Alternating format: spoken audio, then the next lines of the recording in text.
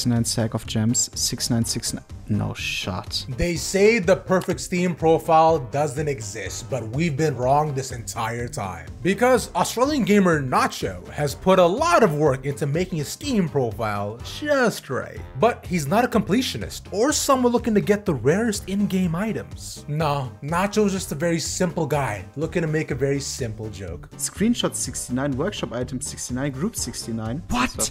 Items owned 6969. I was played 69. God only knows the effort he put in to create this glorious account, but to maintain it, Nacho basically had to lock away his account forever. Unfortunately though, one extra badge and people spamming his page with comments has tarnished the meme. Nacho might not have the perfect 69 page anymore, but we have to salute him for sticking to the bit like no one ever has before.